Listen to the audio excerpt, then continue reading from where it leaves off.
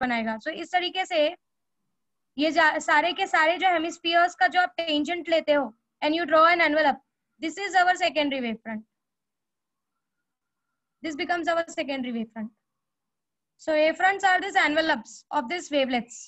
ये जो wavelets के छोटे छोटे छोटे छोटे हेमिस्फीयर हम कंसिडर कर रहे हैं उनका जो एनवेलप है that becomes our wave fronts clear with part मतलब ये जो नीचे ये जो था ये भी एक टाइम पे एक वेव फ्रंट ही था।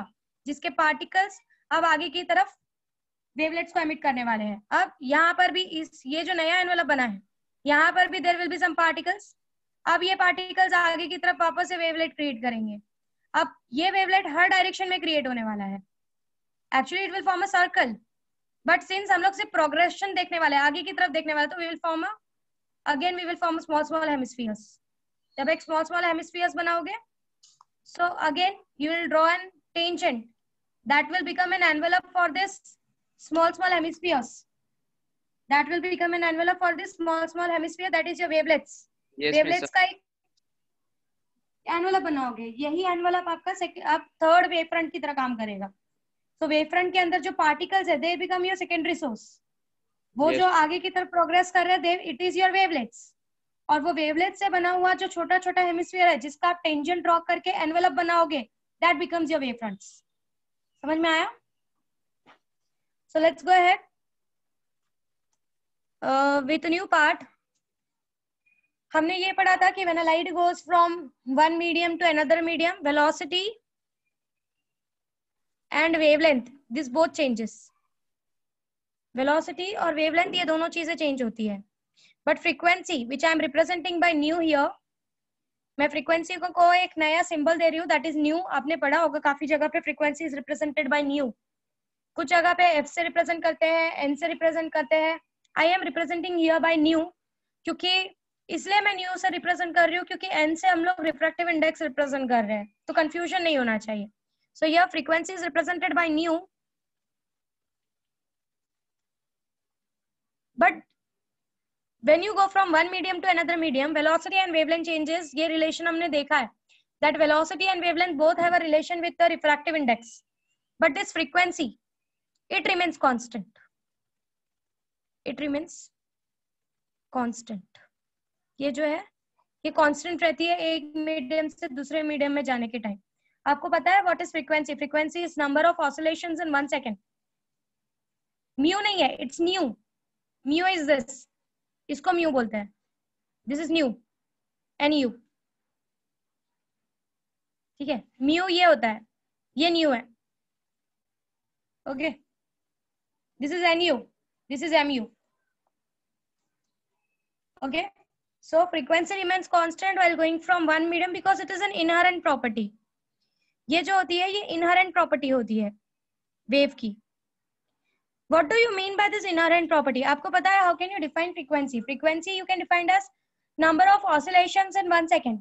एक oscillation, एक सेकेंड में कितना हो रहा है नंबर ऑफ़ ऑसिलेशन कितने हो रहा है फ्रीक्वेंसी अब अगर तुम देख सकते हो कि when it is entering into another medium अगर उसकी साइज़ छोटी हो रही है तो उसका बनने का जो वेलोसिटी है, जिस वेलोसिटी से वो आगे की तरफ़ बढ़ने वाला है इट विल फॉर्म वो भी रिड्यूस हो रहा है साइज़ और वेलोसिटी दोनों कम हो रही है।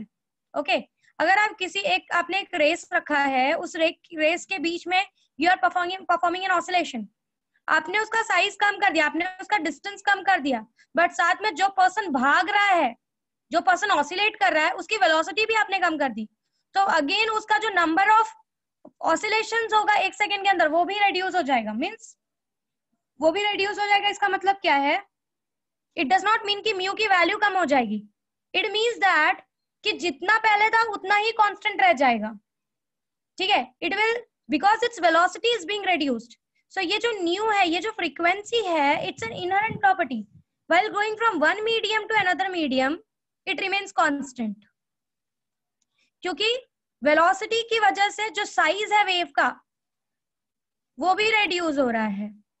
अगर साइज़ रेड्यूस हो रहा है this is reducing wavelength wavelength lambda is reducing तो इसका जो फॉर्मेशन है वो भी स्लो होता जा रहा है okay so on an average ये दोनों चीज़ें एक दूसरे को बैलेंस करके an remains that is mu remains constant and you know that what is the relation between frequency and wavelength v is equals to mu lambda that is n lambda so v by lambda is equals to mu okay so if i say in first medium it is v1 by lambda 1 in the second medium it will be v2 by lambda 2 is equals to nu you will observe that in the first medium and in the second medium this frequency remains constant जहाँ पर अगर size reduce हो गया wave का तो वहाँ पर उसकी वेलोसिटी भी रिड्यूस हो गई है फॉर्मेशन की दोनों एक साथ रिड्यूस हुए हैं सो so, जो नंबर ऑफ़ ऑसिलेशन होंगे उस पर्टिकुलर टाइम टी में वो उतने ही रहेंगे जितने पहले मीडियम में थे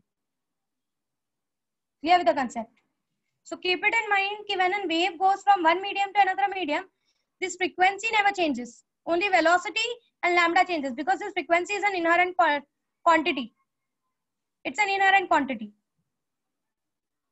ma'am inherent quantity मतलब कांस्टेंट uh, लाइक बोल सकते हैं हाँ उसकी खुद की क्वांटिटी है ये okay. ये उसका खुद का बिहेवियर है okay like natural yes correct so this is what is observed the next topic that we are going to start with is polarization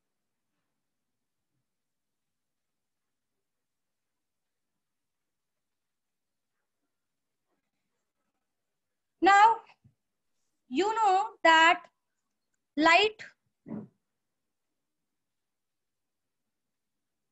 have a transverse nature.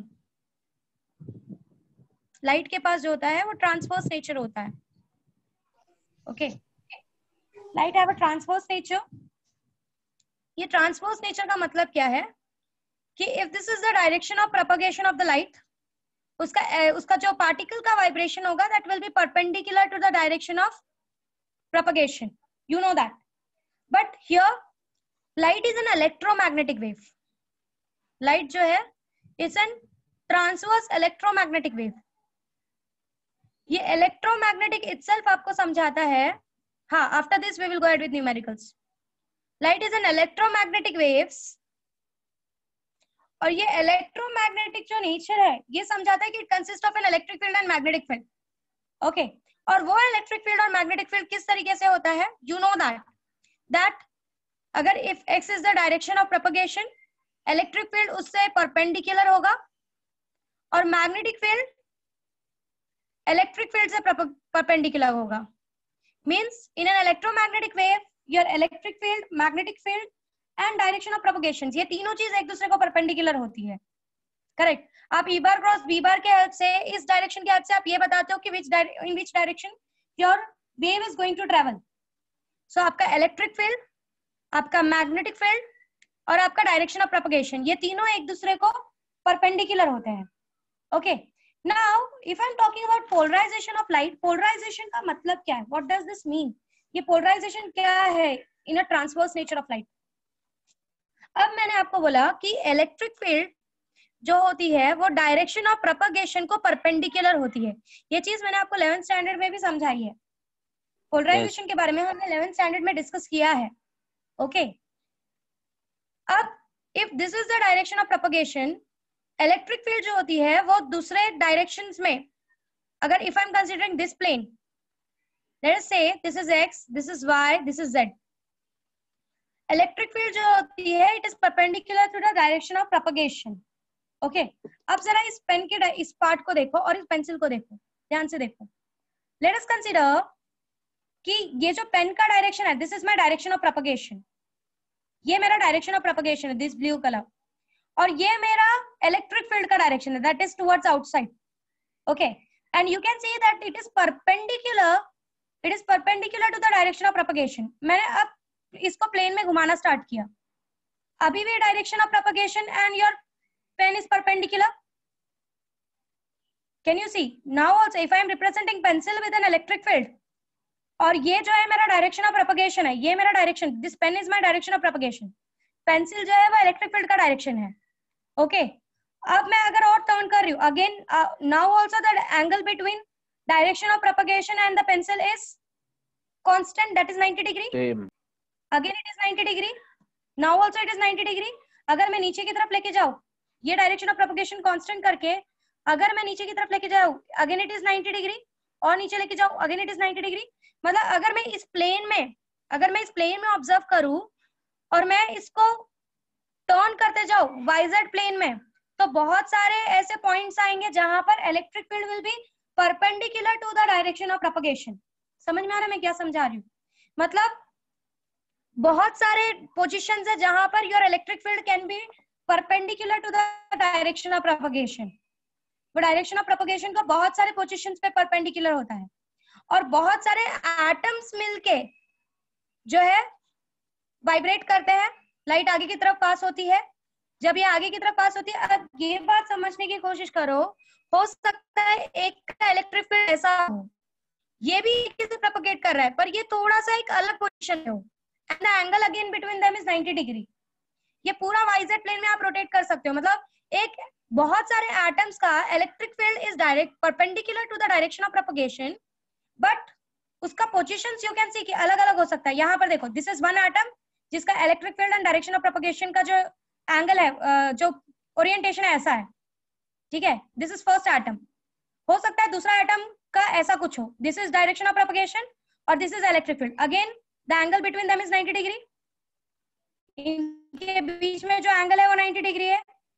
तीसरा एटम हो, जिसका ओरिएंटेशन कुछ इस तरीके से हो। अगेन इट इज़ 90 डिग्री चौथा atom हो, उसका ओरिएंटेशन कुछ इस तरीके से हो। अगेन इट इज़ 90 डिग्री पांचवा एटम हो जिसका ओरिएंटेशन कुछ इस तरीके से हो। अगेन इट इज़ 90 डिग्री मतलब ओरिएंटेशन चेंज हो सकता है इलेक्ट्रिक फ़ील्ड का। Are you understanding what I am trying to say मतलब अगर आपको एक क्लस्टर ऑफ़ लाइट दिख रही है सो so उसके अंदर जो एटम्स होंगे, उसका इलेक्ट्रिक फ़ील्ड वाइजेड प्लेन में किसी भी पॉइंट पे हो सकता है। सिर्फ़ कंडीशन इतना है कि it will be perpendicular to the direction of propagation वो परपेंडिकुलर होगा डायरेक्शन ऑफ़ प्रोपगेशन को। समझ में आ रहा है मैंने क्या बोला? ये पेंसिल के ओरिएंटेशन से आपको कुछ समझा? मैम क्या हुआ? मैम ऐसा पोजीशन चेंज करते जा रही हो तो एक्सिस भी चेंज हो रहा है ना? एक्सिस कहाँ चेंज हो रहा है? वाइजेड प्लेन में ही बात कर रहे हैं हम? एक्सिस कहाँ चेंज हो रहा है? ये रहा एक ये एक्स डायरेक्शन है। ये वाई डायरेक्शन का प्रोपगेशन है। हाँ मैंने क्या किया? मैंने सिर्फ़ इसको रोटेट किया हुआ in the YZ plane but अब अपने पेंसिल को नीचे रख दिया तो वो जेड ले लो ना उसको। कहाँ पूरी तरीके से। जेड होने वाला है? ये वाइजेड प्लेन में रोटेट हो रहा है। It is rotating in the YZ plane ऐसा कुछ घूम रहा है वो? Axis is still same axis का कुछ प्रॉब्लम नहीं हो रहा है। वो वाइजेड प्लेन में मैम जेड किधर होएगा इधर? you can observe it i am talking in the terms of plane मैं टर्म प्लेन प्लेन के टर्म्स में बात कर रही हूँ मैं। मैंने टर्म्स मैंने क्या टर्म्स यूज़ किया जरा वो समझो। हाँ। ये एक्स एक्सिस है ये वाई एक्स ये वाई एक्सिस है ये जेड एक्सिस है। मेरा एक ही कंडीशन Okay. होता है। What I observe in an electromagnetic wave that electric field is perpendicular to the X direction बहुत सारे एटम्स मिलके एक लाइट को बनाते हैं। आप जो एक क्लस्टर ऑफ़ एक आप जो एक रे देखते हो लाइट का वो एक सिंगल नहीं होता। बहुत सारे मिलकर बनाते हैं। मेरा सिंगल यही कंडीशन है कि मेरा अगर प्रोपोगेशन एक्स डायरेक्शन में हो रहा है तो मेरा इलेक्ट्रिक फ़ील्ड उसको परपेंडिकुलर होना चाहिए। अब मैं वाइजेड प्लेन में ही हूँ। This is my YZ plane YZ plane कौन सा प्लेन होता है? ये ऊपर की तरफ़ और ये बाहर की तरफ़ जो प्लेन कंसिस्ट करता है this is YZ plane this is my YZ plane okay मैंने अपने पेंसिल पेन को और पेंसिल को ओरिएंट किया। पेन का डायरेक्शन पेन का direction gives me direction of propagation ये पेंसिल का जो डायरेक्शन है, ये मुझे इलेक्ट्रिक फ़ील्ड का डायरेक्शन दे रहा है। मेरा इलेक्ट्रिक फ़ील्ड इस तरीके से ऑसिलेट हो रहा है, ऊपर की तरफ़। अब देखो एक एटम का पेंसिल इस तरीके से ओरिएंटेड है। एक एटम का इलेक्ट्रिक फ़ील्ड इस तरीके से ओरिएंटेड है। दूसरा एटम का इस तरीके से हो सकता है। अभी भी एंगल 90 डिग्री है क्या? Yes yes. मैंने और थोड़ा सा तीसरा एटम है जिसका ओरिएंटेशन इलेक्ट्रिक फ़ील्ड का और मैग्नेटिक फ़ील्ड का ऐसा है। अभी भी 90 डिग्री है क्या? यस मैम मतलब ये चीज़ समझ रहे हो कि एक डायरेक्शन ऑफ़ प्रोपगेशन के लिए वाइजेड प्लेन में अलग अलग डायरेक्शंस हो सकते हैं इलेक्ट्रिक फ़ील्ड के। अलग अलग एटम्स के अलग अलग डायरेक्शन हो सकते हैं इलेक्ट्रिक फ़ील्ड के। इसीलिए जब आप ट्यूबलाइट की लाइट देखते हो आपने कभी आपने अगर अपने बाईसाइकिल का जब आपने कभी अपने अपने बाईसाइकिल का अ, बा- आगे का जो टॉर्च होता है उसको कभी देखा है? वो हर डायरेक्शन में आपको लाइट दिखाता है। It shows your light in all the direction ऐसा कुछ दिखता है आपको। वो आपको इटसेल्फ एक्सप्लेन कर रहा है कि एक डायरेक्शन ऑफ़ प्रोपगेशन के लिए वाइजेड प्लेन में बहुत सारे ओरिएंटेशन हो सकते हैं इलेक्ट्रिक फ़ील्ड के। एक एटम का डायरेक्शन इस तरीके से हो सकता है। एक एटम थोड़ा सा ऐसा हो सकता है। दूसरा एटम थोड़ा सा और अलग इलेक्ट्रिक फ़ील्ड कंडीशन सिर्फ़ इतना है कि डायरेक्शन ऑफ़ प्रोपोगेशन और इलेक्ट्रिक फ़ील्ड के बीच में एंगल 90 डिग्री होता है। लेजर में हम उनको लेजर में मैं अभी नहीं आ रही हूँ। लेजर में मैं लेजर में हम कुछ करते हैं, जो चीज़ हम आगे पढ़ने वाले हैं। मैम ये नीचे अपने कौन सा एग्जांपल लिया? टॉर्च का लिया है। टॉर्च का ले सकते हो। आपका जो आगे का व्हाट वी से एक मिनट हाँ। हेडलाइट हेडलाइट लेजर में तो पोलराइज्ड होता है ख्याल से। you can observe that your electric field can be in any of the directions. ये आपने डायरेक्शन ऑफ़ प्रोपगेशन समझा? ये आपका इलेक्ट्रिक फ़ील्ड का डायरेक्शन है। यहाँ रखा ऐसा। Still angle is 90 degree change कर दो। एंगल इज़ 90 डिग्री चेंज कर दो। एंगल इज़ 90 डिग्री चेंज कर दो। एंगल इज़ 90 डिग्री मतलब एक डायरेक्शन ऑफ़ प्रोपगेशन के लिए एक पूरा प्लेन अवेलेबल है, जिसमें आपका इलेक्ट्रिक फ़ील्ड प्रेजेंट हो सकता है।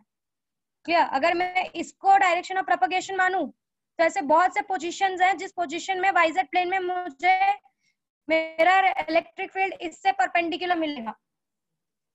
So there are number of atoms जिनकी इलेक्ट्रिक फ़ील्ड अपोजिट अलग अलग डायरेक्शंस में प्रेजेंट होगी। ठीक है?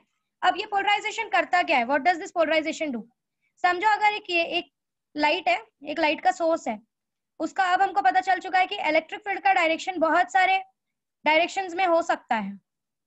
This light this source of light is called as unpolarized light this is called as unpolarized light. जब इलेक्ट्रिक फ़ील्ड का डायरेक्शन बहुत सारे डायरेक्शन से मिलके बना हुआ है, जो रिजल्टेंट आपको दिख रहा है, वो बहुत सारे डायरेक्शन से मिलके बना हुआ है that gives you unpolarized light जो आपका हेडलाइट है it is an unpolarized light जो आप बल्ब में देखते हो it is an unpolarized light जो सन से आपके पास आता है it is an unpolarized light but sun का लाइट कुछ कुछ पोलराइज हो जाता है, जिसके बारे में मैं आगे डिस्कस करूँगी. सन का आपको पूरा अनपोलराइज लाइट नहीं आता, क्योंकि there becomes and there there polarization happens in your atmosphere तो सन का एग्ज़ाम्पल मैं नहीं लूँगी यहाँ पे। सन का पूरा लाइट अनपोलराइज नहीं होता। ओके सो जिस लाइट का एटमॉस्फेयर की वजह से पोलराइज्ड होता है ना मैम थोड़ा। एग्जैक्टली 11th में so, बताया आपने। ओके सो यहाँ पे एज वी आर क्लियर कि एक डायरेक्शन के लिए we have number of orientations in a particular plane जिसमें you can find that different different atoms can have different different orientation for your electric field. Are you clear with this concept सबको समझ में आ रहा है मैं क्या बोल रही हूँ? अमला आकांक्षा सौरभ अमन और बाकी के लोग? समझ में आ रहा है?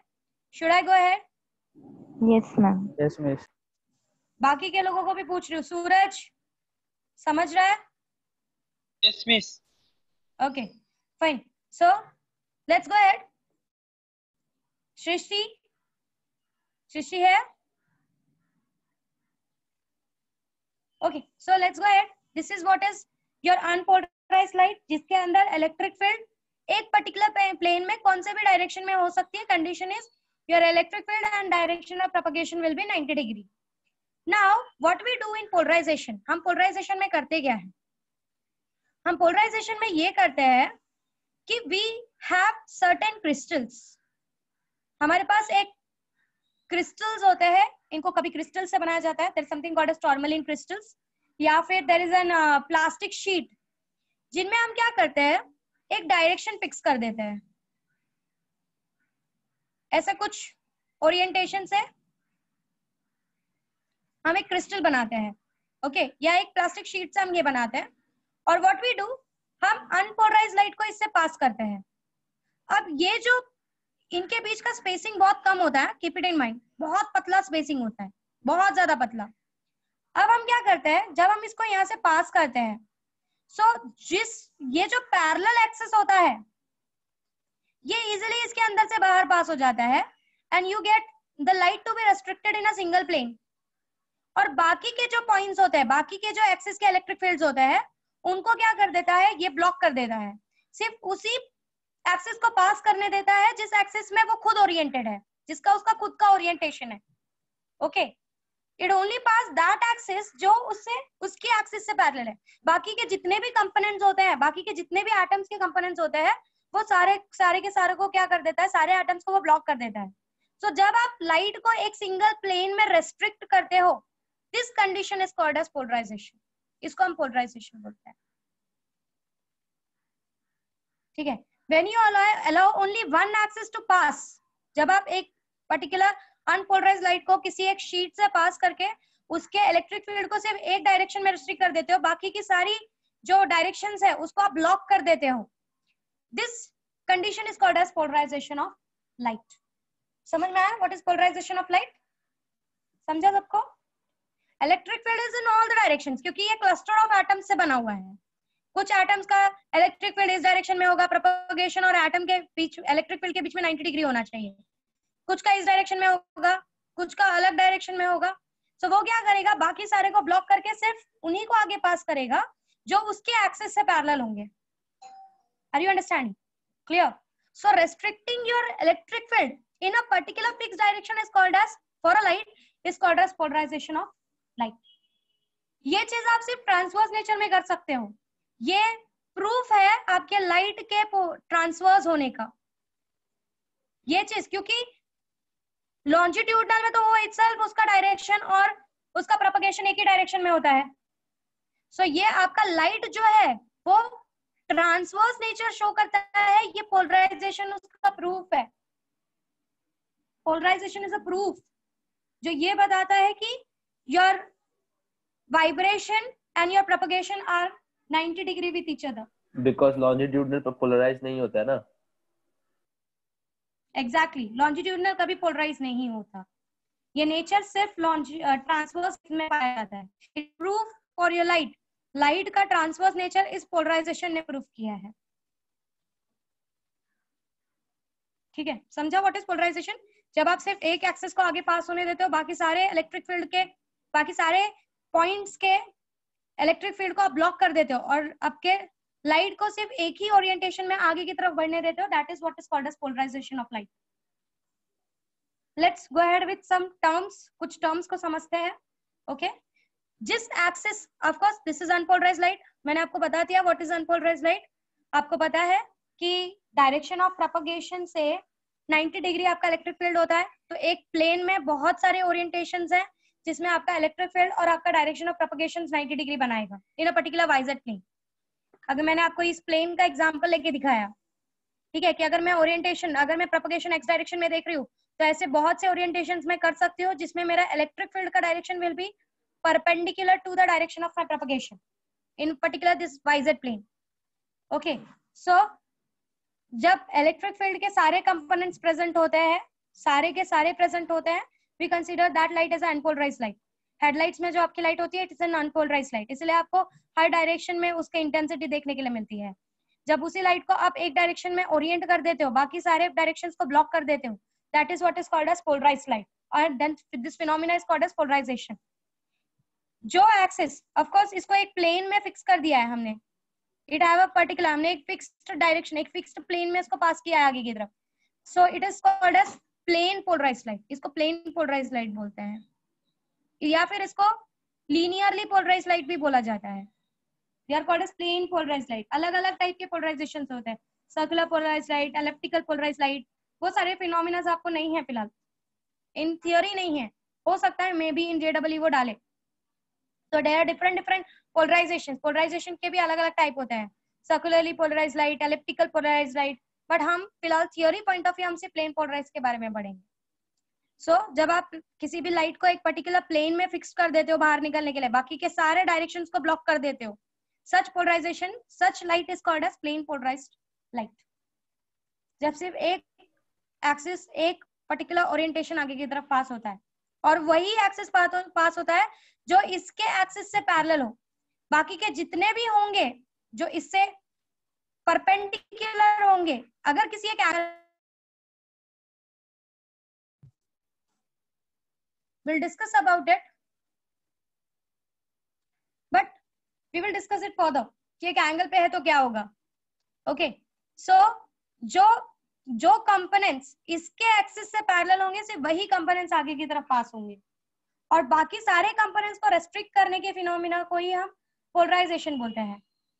सो so, इस तरीके से डिफाइन कर सकते हो कि to restrict your ray of light और to restrict your light in a particular orientation और in a particular plane is considered to be a polarization of light this phenomena is polarization of light ma'am बोलो। Ma'am हम लोग ऐसा light को मतलब normally भी देखते हैं तो uh, एक ही एक्सिस में मेंटेन रहता है ना? कौन सा लाइट की बात कर रहे हो? मैटर करता है। अगर आप सनलाइट की बात कर रहे हो तो बात अलग है। जब आप नॉर्मल लाइट की बात कर रहे हो तो हाँ। वो एक सिंगल एक्सिस पे ओरिएंटेड नहीं रहता। नहीं रहता है। उसके इलेक्ट्रिक फ़ील्ड उसके अंदर बहुत सारे एटम्स होते हैं। और हर एटम का इलेक्ट्रिक फ़ील्ड का अभी मैंने बताया कि हर एटम का इलेक्ट्रिक फ़ील्ड का direction can be different in the YZ plane so it's not a polarize light it is not at all a polarize light आपको उसको पोलराइज करना है मतलब आपको सारे कंपोनेंट्स को ब्लॉक करके सिर्फ़ आगे की तरफ़ सिंगल कंपोनेंट लाना होगा। मतलब मैम जो आप इसके पहले प्लेन में पोजीशन ओके किसमें मैम सनग्लासेस वगैरह जो आप यूज़ करते हो हाँ इस हाँ हाँ। फिनोमिना को अगर आप यूज़ करते हो। जो आप बोलते हो ना कि सनग्लासेस निकल के धूप में चलना चाहिए। हाँ बताई थी आप। उसके पीछे रीजन यही है कि जब आप सनग्लासेस जो आप पहनते हो वो मोस्टली पोलोराइड से बनाए जाते हैं। ऐसे हाँ। मटेरियल से बनाए जाते हैं। वो क्या करते हैं आपके बहुत सारे कंपोनेंट्स को ब्लॉक करके सिर्फ़ एक सिंगल कंपोनेंट्स को आगे की तरफ़ बढ़ने देते हैं। जिसकी वजह से आपके आँखों के ऊपर ज़्यादा इंटेंसिटी नहीं आती लाइट की क्योंकि उन्होंने बहुत सारे कंपोनेंट्स को ब्लॉक कर दिया है। ओके बोलो। मैम वो जब अभी फॉर कोई डिजिटली डिजिटल डिवाइसेस में कभी कभी पोलराइज्ड होता है ना स्क्रीन यूज़ करते हैं हाँ। हाँ तो किया जाता है। उसको तो उसको जब हम पोलराइज वाले सनग्लासेस पहन के देखते हैं ना तो स्क्रीन पे रेनबो रेनबो दिखता है कुछ नहीं दिखता ऐसा क्यों? मैं उसके बारे में आगे डिस्कस करूँगी। We will discuss about it क्यों ऐसा होता है मैं बताती हूँ। क्यों कलर्स दिखाई देता है मैम तो अभी आपने ये जो ऊपर एक्सटेंड किया कि पोजीशन हाँ। चेंज होते जा रहा है प्लेन में तो वो फिर नहीं होएगा ना? इधर पोलराइज कर दोगी आप तो। नहीं एक सिंगल डायरेक्शन मैंने फिक्स कर दिया तो अब क्यों होगा। मैंने बाकी के डायरेक्शंस को ब्लॉक कर दिया मैं सिर्फ़ एक ही डायरेक्शन को आगे जाने दे रही हूँ। मतलब वेव ऐसा सीधा सीधा बहुत सीधा ही सारे डायरेक्शन प्रेजेंट है। अब मैंने सिर्फ़ एक सिंगल डायरेक्शन के ओरिएंटेशन को आगे जाने दिया है। Okay let's go ahead now जिस एक्सिस को पैरेलल कंपोनेंट्स आगे की तरफ़ बढ़ने वाले फॉर एग्जांपल समझो ये मेरा टॉर्मलिन क्रिस्टल है या ये मेरा पोलराइड है जिससे मैं पोलराइजेशन जिस मटेरियल से आप पोलराइजेशन करते हो, उसको पोलराइड बोला जाता है। ये मेरा पोलराइड है और ये एक्सिस है जिसका जो कंपोनेंट्स आगे की तरफ़ निकलने वाले हैं। इस एक्सिस को पोलराइजिंग एक्सिस बोला जाता है। This axis is called as polarizing axis और हमेशा वही कंपोनेंट्स बाहर की तरफ़ निकलते हैं जो पोलराइजिंग एक्सेस से पैरेलल होते हैं। वही सारे कंपोनेंट्स बाहर की तरफ़ निकलेंगे जो पोलराइजिंग एक्सेस से पैरेलल होंगे। जो इससे परपेंडिकुलर होंगे वो बिल्कुल भी बाहर नहीं निकल पाएँगे वो पूरी तरीके से ब्लॉक हो जाएँगे। ओके मैम अब क्वेश्चन ये आएगा कि मैम हो सकता है कि मेरा इलेक्ट्रिक फ़ील्ड इस पर्टिकुलर पोलराइजिंग एक्सिस से एक एंगल पे हो दैट इज़ एंगल थीटा तो हाँ। क्या होगा? तो होगा ये कि आपका जो आपको पता है जब कोई चीज़ एक एंगल पे होती है उसके दो कंपोनेंट्स होते हैं। एक होता है आपका थीटा कंपोनेंट और एक होता है आपका sin थीटा कंपोनेंट सो जो पैरेलल कंपोनेंट होगा that will be theta component so जो cos थीटा कंपोनेंट होगा वो बाहर की तरफ़ जाएगा। और जो साइन थीटा कंपोनेंट होगा वो ब्लॉक हो जाएगा। Okay this is what is going to happen अगर समझो मैंने मेरा इलेक्ट्रिक फ़ील्ड को इसके पोलराइजिंग एक्सिस से, इसके पोलराइजिंग एक्सिस से मेरा जो इलेक्ट्रिक फ़ील्ड है वो एक एंगल थीटा पे है। It is at particular angle theta ठीक है? सो मुझे पता है this will be E cos theta और इससे जो परपेंडिकुलर होगा that will be E sine theta उसका जो वाइब्रेशन होगा वो ई साइन थीटा और ई कॉस थीटा इस तरीके से वाइब्रेशन होगा।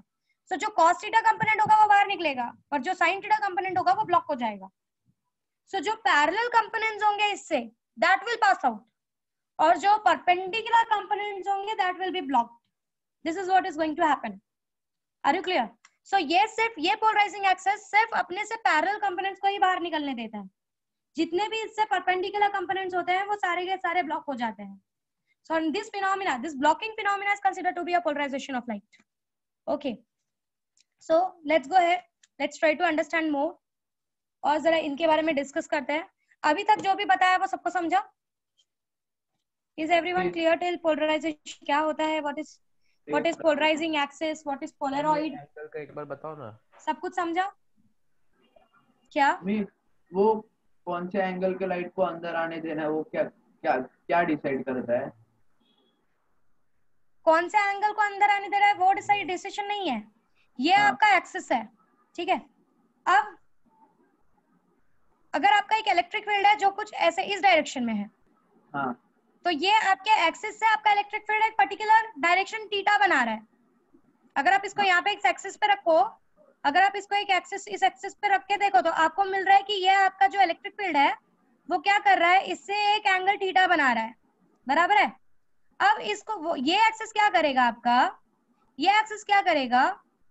सिर्फ़ जो कंपोनेंट इससे पैरेलल होगा वो उसी को पास करने देगा। कौन सा कंपोनेंट इलेक्ट्रिक फ़ील्ड का इससे पैरेलल होगा? ये इलेक्ट्रिक फ़ील्ड है। इसके दो हाँ, कंपोनेंट्स होंगे।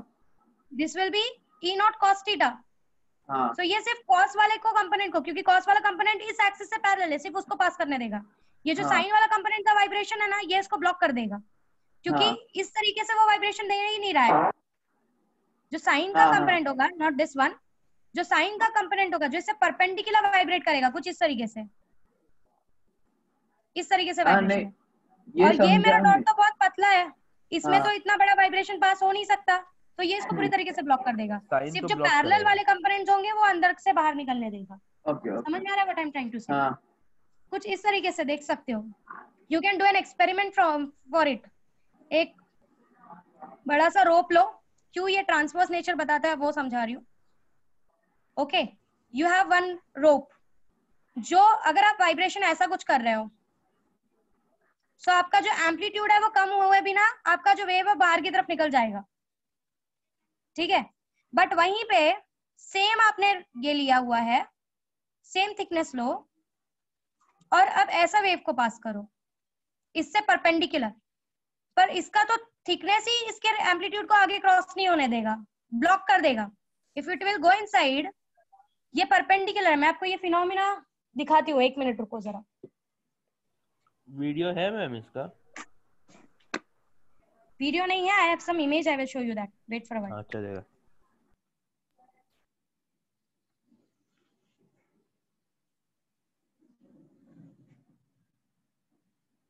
Oh, wait for a while. I'll have some image, some that for you. Okay, यहाँ पे देखो जरा.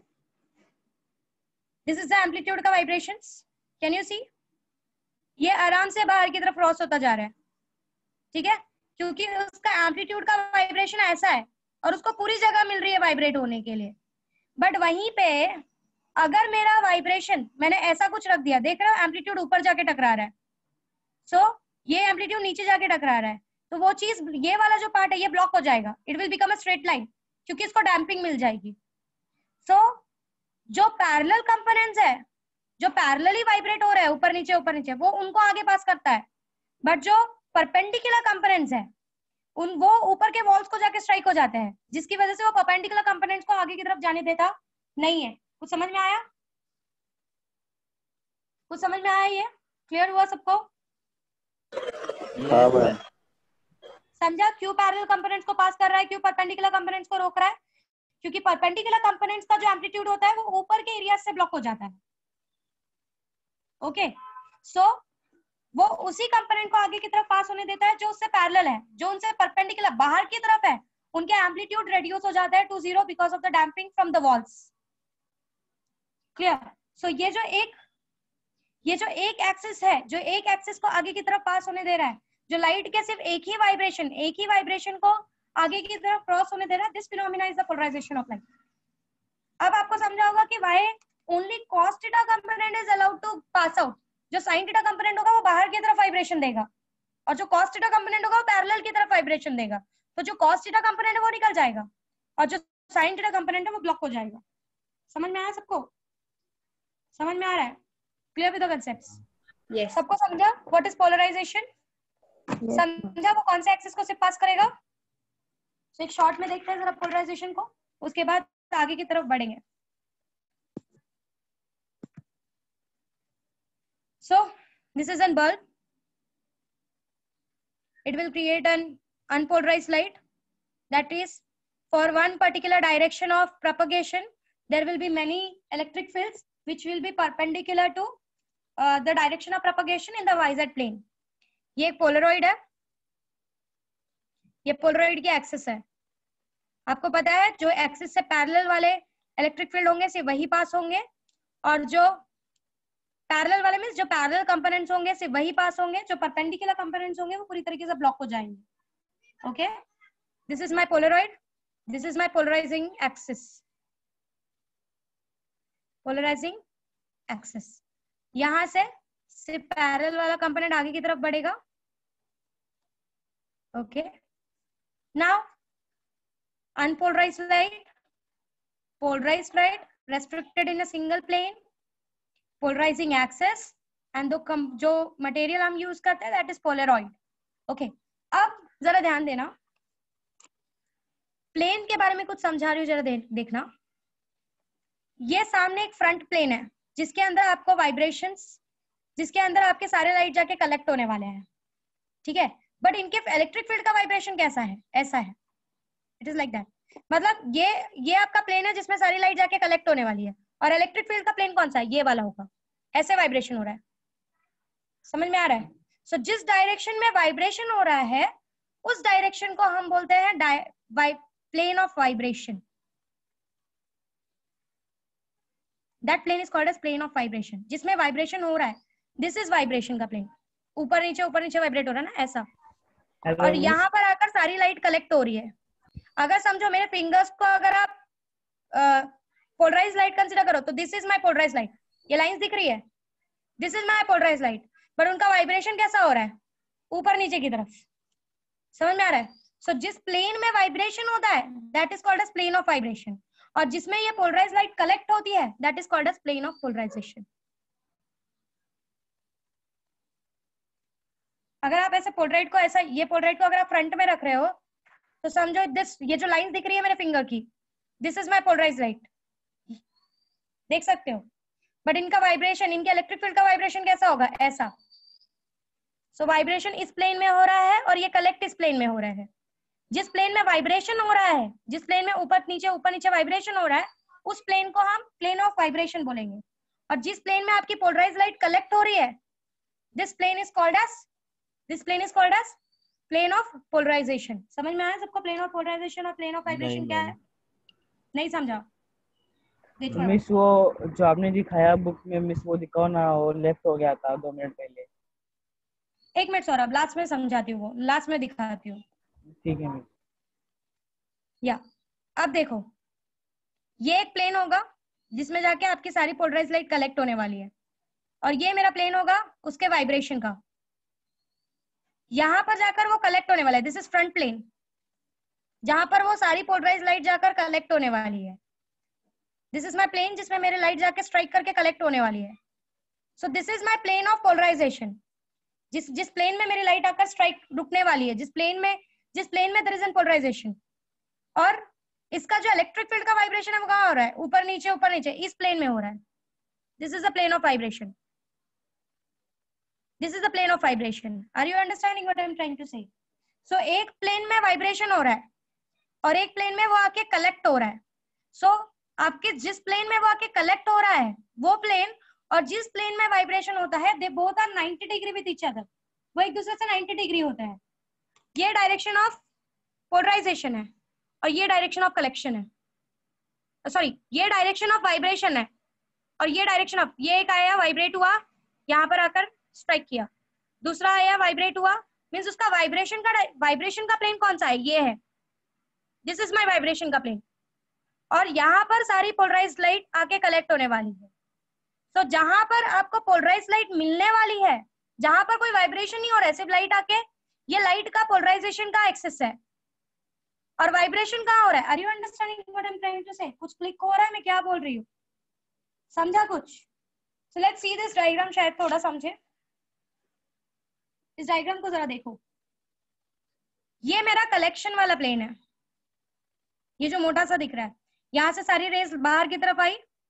This is first polarize light second polarize light they are in single axis ठीक है? ये जो प्लेन है this is my plane of polarization और इन ये जो पोलराइजेशन है इनका जो वाइब्रेशन होने वाला है वो कुछ ऐसा होने वाला है। ये ऐसे कलेक्ट हो रही है।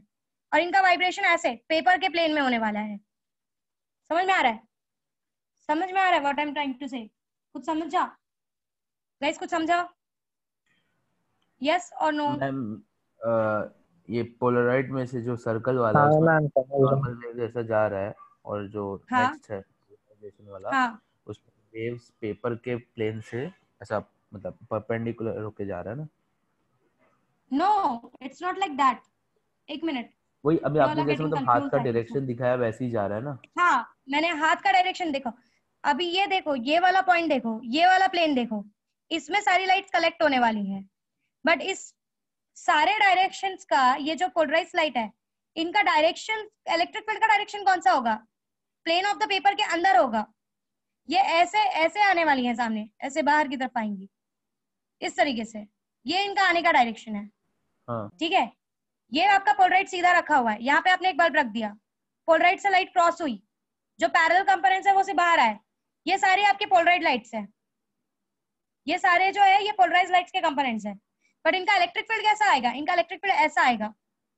That is plane of the paper में आएगा। सो so, जहाँ पर ये कलेक्ट हो रही है this is your this is your plane जिसमें वो कलेक्ट हो रही है। और दिस इज़ द प्लेन जिसमें वो वाइब्रेट हो रही है। ये प्लेन ऑफ़ वाइब्रेशन है जिसमें उनका वाइब्रेशन होगा। और जिसमें वो आके कलेक्ट हो रही है that is your plane of polarization समझ में आ रहा है what I said ma'am understood ये जो लाइट है वो ऐसा वेव के जैसा हो के- मतलब paper of plane of paper से आपका जो हाथ का भी अपने डायरेक्शन दिखा वैसा आ रही है बट जो उसका जो इलेक्ट्रिक फ़ील्ड आपने बोला वो अलग डायरेक्शन है।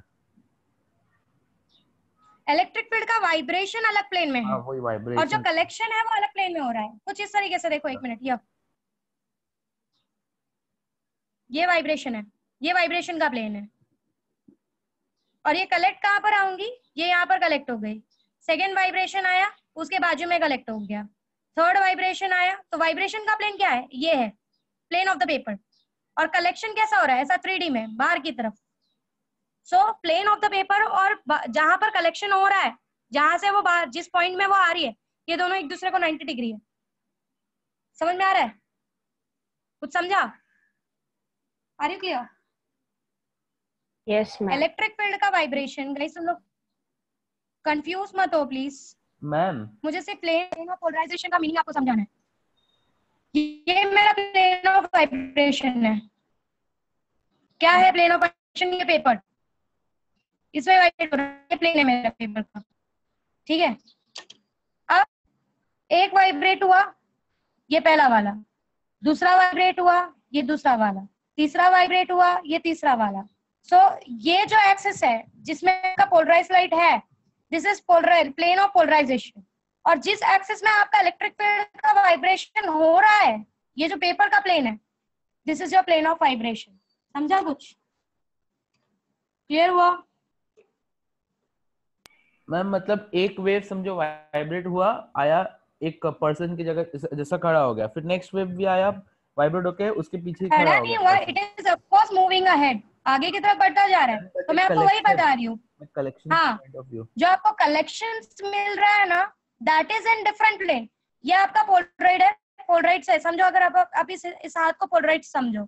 इस पोलराइड से पैरेलल ये जो पैरेलल वाले कंपोनेंट होंगे ये जो पैरेलल वाले कंपोनेंट्स होंगे इन्हीं कंपोनेंट से जो लाइट बाहर की तरफ़ आएगी वो यहाँ आएगी। आ गई। बट लाइट आएगी कैसे? ऐसे कुछ। ठीक है? तो आप कौन सा एक्सेस वाली रही है? ये प्लेन आ रहा है आगे की तरफ़। और वाइब्रेशन कौन सा एक्सेस में हो रहा है उसका? इस प्लेन ऑफ़ द पेपर में। सो so, आपका जिस जिस प्लेन में वाइब्रेशन होता है that is plane of vibration और जहाँ पर आकर वो कलेक्ट होता है that is called as plane of polarization समझ में आया कुछ? फिनोमिना समझा? आपको प्लेन का कंसेप्ट में इसलिए प्रॉब्लम हो रही है क्योंकि आपको प्लेन का मतलब ही नहीं समझ में आ रहा है। आपको प्लेन का मतलब ही समझ में नहीं आ रहा। आप प्लेन क्या है वो समझ पा रहे हो? व्हाट इज़ प्लेन प्लेन होता क्या है? व्हाट इज़ प्लेन प्लेन पहले बता उड़ने वाला प्लेन नहीं है? ओम जरा बता प्लेन का मतलब क्या होता है? What is plane plane ma'am surface मैंने थ्री डायमेंशनल एक रे डायग्राम बताया। जरा बता उसका प्लेन इसमें प्लेन का मतलब क्या है? If I am saying this is X Y Z what are planes x axis and X axis is a plane plane क्या होता है? व्हाट इज़ प्लेन प्लेन क्या होता है? इफ़ आई एम सेइंग कि I want to calculate the planes how many planes are there कितने planes हो सकते हैं? आपको प्लेन का मतलब ही नहीं पता है इसलिए आपको प्रॉब्लम हो रही है। कोई बता सकता है what is plane here miss X और वाई वाई और जेड और वाई और एक्स के बीच में जो वो एरिया है ना वो प्लेन एक्चुअली ये जो वॉल्स है ना इनको प्लेन बोलते हैं। ओम this walls are your plane इनको प्लेन्स बोला जाता है। अभी तक तुम प्लेन में इसलिए कंफ्यूज हो रहे थे कि प्लेन में क्या बोल रही हूँ? उसका वाइब्रेशन ऐसा कुछ हो रहा है। तो उसका वाइब्रेशन कौन से प्लेन में हो रहा है? उसका वाइब्रेशन जो है वो इस प्लेन में हो रहा है इस तरीके से। वाई और एक्स एक्सिस के प्लेन को वो यूज़ कर रहा है वाइब्रेशन के लिए। बट उसका कलेक्शन सामने वाले प्लेन में हो रहा है। सो so, जहाँ पर वो जहाँ पर वो आके स्ट्राइक कर रहा है दिस इज़ फ़र्स्ट पोलराइजेशन फिर आएगा दैट विल बी दूसरा पोलराइजेशन तो जिस जिस प्लेन में वो कलेक्ट हो रहा है that is plane of polarization और जिस प्लेन में वो वाइब्रेट हो रहा है that is plane of vibration समझ में आया? सो जो, एक मिनट जो प्लेन से क्रॉस होकर आगे की तरफ़ आ रहा है, ये आपका प्लेन ऑफ़ पोलराइजेशन है. जिस जिस डायरेक्शन के कंपोनेंट्स को आगे अलाउ किया जा रहा है आगे जाने के लिए. और जिस प्लेन में इन इलेक्ट्रिक फील्ड्स का वाइब्रेशन हो रहा है this is called as plane of vibration and ये दोनों एक दूसरे को हमेशा 90 डिग्री होते हैं. Are always 90 degree with each other समझा? समझा सबको? मैम रिपीट करो ना। मेरा एग्जिट हो गया मैम पता नहीं खुद ही। बाकी सबको समझा? बाकी सबको समझा? Yes miss Yes, miss. हाँ मिस सौरभ समझाएगा? प्लेन ऑफ़ वाइब्रेशन और प्लेन ऑफ़ पोलराइजेशन एक पोलरॉइड है। ये इसका एक्सिस है। यहाँ से ये क्रॉस करने वाला है। इसका इलेक्ट्रिक फ़ील्ड का वाइब्रेशन कुछ इस तरीके से होगा। ये एक्सेस है, ये एक्सेस पे जाके दिस इज़ द एक्सेस जिस एक्सेस से आपका वाइब्रेशन आगे की तरफ़ बढ़ने वाला है, आपकी लाइट का कंपोनेंट्स आगे की तरफ़ बढ़ने वाला है। और वाइब्रेशन किस कंपोनेंट में हो रहा है? इस कंपोनेंट में। आर यू अंडरस्टैंडिंग सो जिस प्लेन में वाइब्रेशन होता है इलेक्ट्रिक फ़ील्ड का, उसको हम प्लेन ऑफ़ वाइब्रेशन बोलते हैं। और जिसमें सारी पोलराइज लाइट कलेक्ट होती है जा जाके जिस पॉइंट में आगे की तरफ़ बढ़ती है उस प्लेन को हम प्लेन ऑफ़ पोलराइजेशन बोलते हैं। So this is direction of polarization this is direction of polarization और this is direction of vibration so vibration paper में हो रहा है और पोलराइजेशन यहाँ पर हो रहा है। This is plane of polarization hello ये पोलराइजेशन का प्लेन है। बोलो। मिस हम लोग ने बीम ऑफ़ लाइट लिया है ना? हाँ बीम ऑफ़ लाइट नहीं लिया है। हमने एक सिंगल लाइट लिया है हमने एक बल्ब लिया है। Okay we have taken a source as a bulb मैंने पीछे ड्रॉ भी किया था। एक बल्ब से हमने अनपोलराइज लाइट को पोलराइड से पास पास किया है।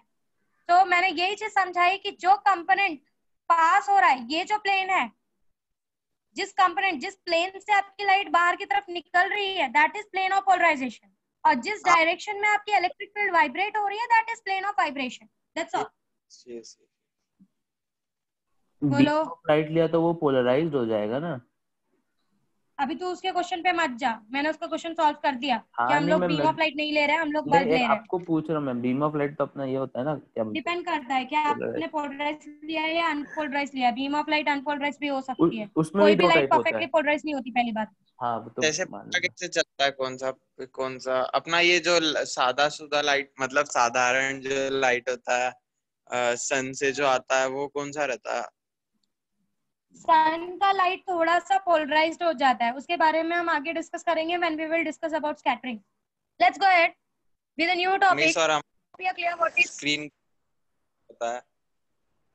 Plane of vibration and plane of polarization आपको क्लियर है? प्लेन ऑफ़ वाइब्रेशन वो होता है जिसमें इलेक्ट्रिक फ़ील्ड का वाइब्रेशन होता है। This is the standard way to explain plane of vibration so जिसमें इलेक्ट्रिक फ़ील्ड वेक्टर का वाइब्रेशन होता है that plane is considered to be a plane of vibration this is called as plane of vibration और जिसमें कोई vibration नहीं होता, जिस प्लेन में सिर्फ़ कलेक्शन होता है लाइट का that is considered to be a plane of polarization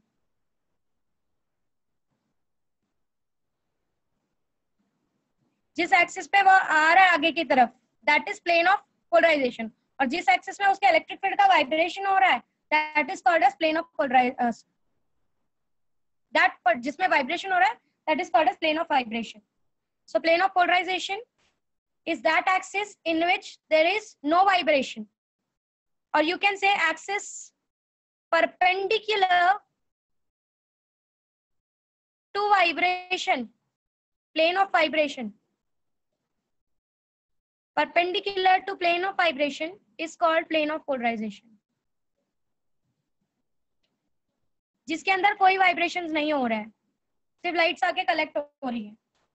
Okay okay? जिस प्लेन से लाइट आगे की तरफ़ बढ़ने वाली है, जिस प्लेन में लाइट आगे की तरफ़ बढ़ने वाली है that is plane of polarization और जिसमें उसके इलेक्ट्रिक कंपोनेंट वाइब्रेट करने वाले हैं that is called as plane of vibration clear समझा? Plane of polarization and plane of vibration सबको? क्लियर एक बात ध्यान देना कि ये प्लेन ऑफ़ वाइब्रेशन और प्लेन ऑफ़ पोलराइजेशन का जो डेफिनेशन है, वो आपको बुक्स में बहुत ही अलग अलग मिलेगा हर जगह पे। इनको बहुत अलग अलग वे में डिफाइन किया गया है। But this is the best way to define an vibration and a plane of polarization आप जहाँ पर भी सर्च करोगे आपको हर जगह एक नया कुछ मिलेगा इनको डिफाइन करने का तरीका। सो so, सबसे बेस्ट वे जो है डिफाइन करने का that is in your book जहाँ तक मैंने अभी तक जितनी भी बुक्स पढ़ी है उसमें सबसे बेस्ट आपके फ़र्स्ट टाइम आपके टेक्स्ट बुक में सबसे बेस्ट कुछ दिया हुआ है। So that is the definition of plane of vibration and polarization कि जिस प्लेन में वो वाइब्रेट कर रहा है इलेक्ट्रिक फ़ील्ड उसका प्लेन ऑफ़ वाइब्रेशन ले लो। और जिस प्लेन में आपका कंपोनेंट्स आ रहा है, जिसका प्लेन जिस जिस प्लेन का कंपोनेंट आगे पास हो रहा है that is plane of polarization ठीक है? So the plane in which your light is polarized एक सिंपल टर्म्स में समझ सकते हो। So this is what is plane of vibration and polarization let's go ahead with something new Malus law Malus was a scientist जिसने intensity के बारे में कुछ एक्सप्लेन किया है विथ पोलराइजेशन उसने क्या बोला कि लेटस टेक अ पोलरॉइड एक पोलरॉइड लेते हैं। ठीक है? उससे मैंने मैंने एक सिंगल इलेक्ट्रिक फ़ील्ड लिया और उस इलेक्ट्रिक फ़ील्ड का जो डायरेक्शन मैंने मैंने बहुत सारे इलेक्ट्रिक फ़ील्ड कंपोनेंट्स नहीं लिए हैं। मैंने एक सिंगल इलेक्ट्रिक फ़ील्ड कंपोनेंट लिया है। और उस इलेक्ट्रिक फ़ील्ड का डायरेक्शन जैसे कि मैंने बोला आपको, उस एक्सिस से एक एंगल थीटा पे रखा है। ठीक है? आपको पता है electric field is a sine wave and it is a wave so it can be it is oscillating wave so it can be represented by a wave uh, equation e is equals to e naught sine of kx minus omega t this kx minus omega t is your phase e naught is the amplitude electric field is an oscillating oscillating wave it's an oscillating wave इसलिए उसको एक इस SHM के equation से represent किया गया है अगर याद हो, आपका इलेक्ट्रिक फ़ील्ड ऐसा ही ऑसिलेट होता है ना, इस तरीके से। It's oscillating phase it is the wave okay so since it is performing in SHM it can be represented by this equation is equals to E naught K X minus omega T where E naught is the amplitude sine of K X minus omega T this K X minus omega T is representing the phase of that wave आपको इसके बारे में oscillation से पता है कि oscillation oscillation में हमने how we have represented away with this particular equation हमने काफ़ी अच्छे से इसका मैथमेटिकल एक्सप्रेशन डिस्कस किया है पीछे। So E is equals to E naught sine of K X minus omega T ये कंपोनेंट को, ये जो इलेक्ट्रिक फ़ील्ड है, ये मेरे पोलरॉइड से के एक्सिस से एक पर्टिकुलर एंगल थीटा बना रहा है। It is making an angle theta अगर ये एंगल थीटा बना रहा है, आपको ये बात पता है कि ये सिर्फ़ इस इलेक्ट्रिक फ़ील्ड का इस इलेक्ट्रिक फ़ील्ड का सिर्फ़ कॉस थीटा कंपोनेंट को वो बाहर की तरफ़ निकलने देगा। जो साइन थीटा कंपोनेंट होगा, वो उसको ब्लॉक कर देगा। अब ये चीज़ आपको कैसे समझेगी कि कॉस थीटा कंपोनेंट को ही मतलब ये आधा ही अलाउ कर रहा है, आधा रोक रहा है? ये चीज़ आपको कैसे समझेगी? सिंपल फंडा है कि हमको पता है कि P naught is the amplitude हमको पता है कि हमारी इंटेंसिटी और एम्पलीट्यूड के बीच में रिलेशन है। कुछ याद है इंटेंसिटी और एम्पलीट्यूड के बीच में रिलेशन क्या था? Intensity is directly proportional to square of the amplitude. Amplitude square. Intensity is directly proportional to square of the amplitude. Correct. अगर वो एम्पलीट्यूड का आधा ही कंपोनेंट को आगे पास करने दे रहा है सिर्फ़ कितने कंपोनेंट इस एम्पलीट्यूड के सिर्फ़ E naught cos theta component को वो आगे पास करने देगा E naught sine theta component को वो आगे पास होने देगा नहीं मतलब नाउ योर इंटेंसिटी जो इंटेंसिटी बाहर की तरफ़ आएगी इस पोलरॉइड से निकलने के बाद that intensity will be directly proportional to E naught का स्क्वायर square theta? या इसको ऐसा भी लिख सकते हो? Directly proportional to e naught cos theta the whole square. Correct? ये सिर्फ़ इसी कंपोनेंट को आगे पास करने देगा। आपको जो बाहर इंटेंसिटी मिलेगी लाइट की, वो सिर्फ़ इसी कंपोनेंट की मिलेगी। साइन थीटा कंपोनेंट की नहीं मिलेगी। अब मुझे देखना है कि कितनी इंटेंसिटी मुझे मिलेगी बाहर जाकर। मुझे पता है ये जो कॉस थीटा है, ये जो थीटा है, ये थीटा कितना एंगल बना सकता है इस एक्सिस के साथ? ज़ीरो ऐसे एटम्स होंगे जिनका ज़ीरो होगा वो पूरे के पूरे बाहर निकल जाएँगे। कुछ एटम्स होंगे जिनका थर्टी होगा सिक्सटी होगा फिफ्टी होगा। बहुत सारे कंपोनेंट्स अगर मैंने सिर्फ़ इलेक्ट्रिक फ़ील्ड का if I have taken electric field का सिर्फ़ कॉस्टिटा मैंने सिर्फ़ इलेक्ट्रिक फ़ील्ड के ऐसे एटम्स लिए हैं which is making an angle theta ठीक है? सो so, ये थीटा का जो वैल्यू है ये जो एंगल है ये जो कॉस्टिटा है ये थीटा कहाँ से कहाँ तक ऑन एन एवरेज जा सकता है? अगर आप कॉस टीटा का एवरेज निकालो so when you take the square theta का average this theta can the angle that with this electric field can make वो कितना एंगल बना सकता है? ज़ीरो से 180 के बीच में बना सकता है। It can be zero thirty forty fifty ninety उसके ऊपर and then it can go for 180 so so, इसका जो रेंज होगा ये पूरे कॉस्टिटा कंपोनेंट का ये कंपोनेंट का रेंज ज़ीरो से 180 के बीच में होगा। जब आप इस कॉस स्क्वायर थीटा का एवरेज निकालोगे ज़ीरो से 180 के बीच में so you will find that cos square theta is half और बाहर आके आपको इंटेंसिटी मिलेगी, I directly proportional to the intensity that will you will get that will be half of I naught square. मतलब अगर आपके पहले पोलरॉइड से आता इलेक्ट्रिक फ़ील्ड एक एंगल पे है तो आपको सिर्फ़ आधा ही इंटेंसिटी बाहर की तरफ़ मिलेगा, क्योंकि आधा इंटेंसिटी ब्लॉक हो जाएगा because of the blocking of the sine theta component कुछ समझ में आ रहा है? मैंने क्या समझाया हेलो मिस बोलो। मिस वो आपने वो क्या किया? ज़ीरो टू वन एटी का वो हाफ़ कैसे हो गया मिस ये एवरेज निकाला है। याद है मैंने आपको कुछ जे डबल ही पढ़ाते समय मैंने आपको रूट मीन स्क्वायर समझाया था। हाँ। याद है मैंने आपको कहा था कि जब आप कॉस थीटा और साइन थीटा के साथ जाते हो तो एवरेज निकालते समय आपको रूट मीन स्क्वायर का कंसेप्ट यूज़ करना पड़ता है। हाँ अगर आप उस तरीके से जाके cos square theta from zero to 180 degree के बीच में क्योंकि कितना एंगल बना सकता है? ये थीटे का थीटा का क्या क्या रेंज हो सकता है? It can start from zero and it can end to 180 इसका जो रेंज हो सकता है थीटा का hello are you understanding what I am trying to say miss वो वापस बताओ ना है। मेरा नेटवर्क चला गया था, ये थोड़ा आवाज़ नहीं आ रहा था आपका। ठीक है I am revising it again ध्यान से देखो। मैंने क्या बोला कि मैं ऐसे इलेक्ट्रिक फील्ड्स कंसीडर कर रही हूँ, जो इलेक्ट्रिक फ़ील्ड मेरे पोलरॉइड के एक्सिस से एक एंगल थीटा बना रहे हैं। मैंने आपको पहले ही बताया कि your electric field is actually a wave it is performing oscillatory motion. So, it can be represented, the electric field can be represented by this particular equation. This equation is e is equals to e naught sine of kx minus omega t. Where this e naught is the amplitude? हमको पता है कि अगर हमको पता करना है कि there is a change in the intensity हमको पता है कि our intensity is directly proportional to amplitude का स्क्वायर ये बात हम जानते हैं। नाउ मुझे पता है कि ये जो पैरेलल एक्सिस है ये सिर्फ़ कौन से कंपोनेंट को बाहर क्रॉस करने देगा?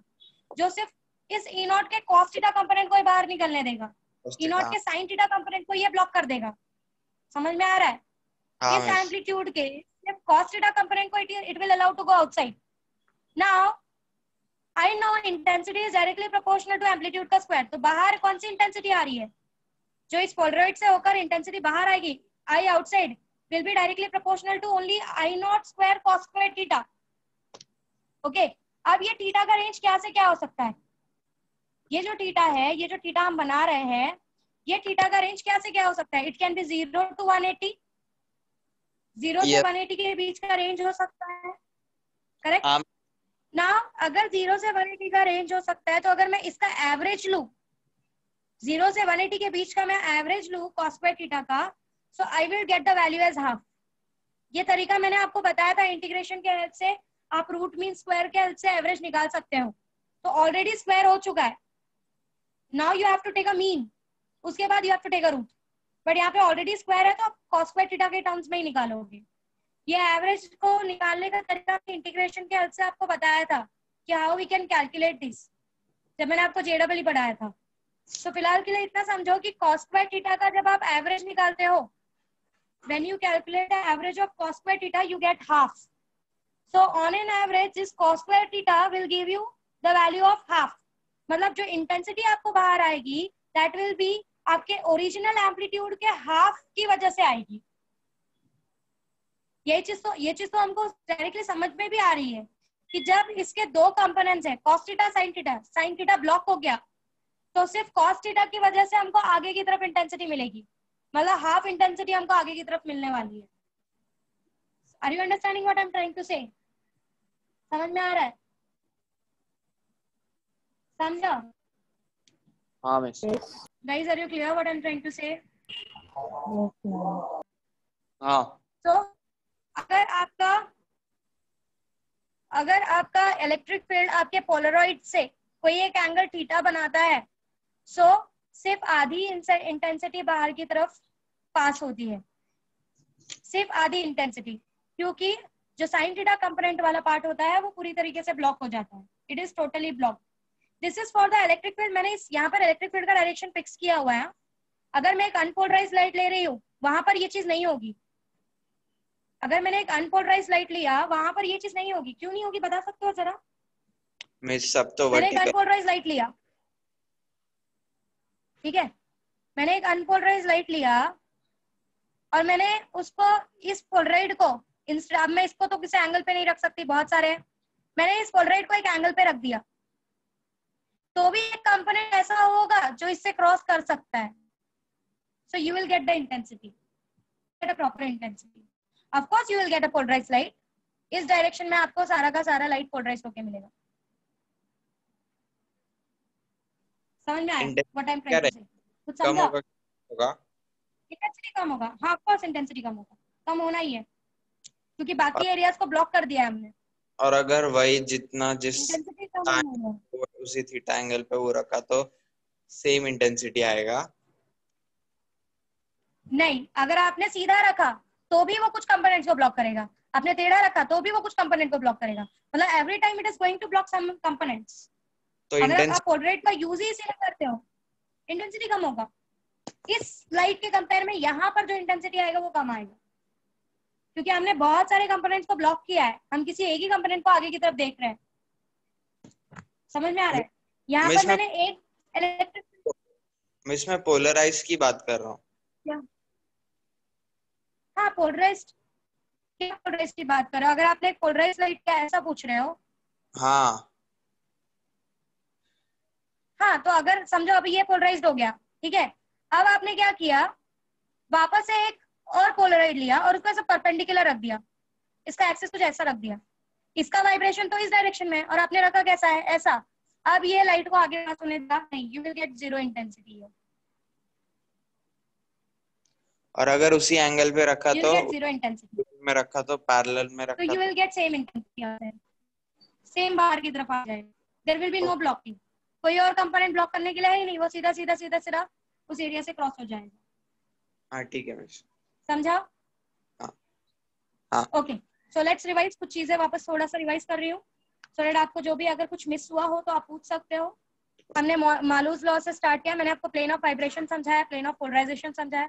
जिस प्लेन में इलेक्ट्रिक फ़ील्ड का वाइब्रेशन होता है that is plane of vibration जिस फ़ील्ड जो प्लेन आपके वाइब्रेट प्लेन ऑफ़ वाइब्रेशन को परपेंडिकुलर होता है और जिसमें कोई वाइब्रेशन नहीं होता सिर्फ़ कलेक्शन होता जाता है लाइट का या जिस प्लेन का लाइट आगे की तरफ़ पास होने वाला है that plane is plane of polarization next is मैंने आपको मालूज लॉ मैं मालूज लॉ की तरफ़ आपको लेके जा रही हूँ।